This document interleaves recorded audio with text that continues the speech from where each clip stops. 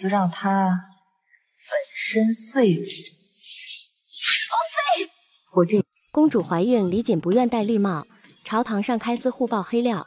萧恒看戏，这可是薛芳菲导演的一场大戏，利用公主跟沈玉荣的丑闻绊倒她。公主平日嚣张跋扈惯了，自认为没有人敢揭开她的私生活。薛芳菲在公主的饮食上动了手脚，让公主出现怀孕的症状。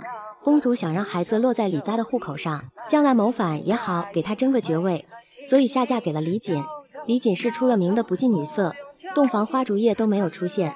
公主让沈玉荣替代了，婚后不久就怀孕了。李锦自知不是她的孩子，更不想替别人养孩子，设计让公主流产。公主恼了，夫妻俩对簿公堂，失去理智互爆黑料。李锦爆出公主跟沈玉荣的私情，牵连出沈玉荣活埋老婆的惨案。公主大骂李锦喜欢男人，萧恒在一旁吃瓜看戏。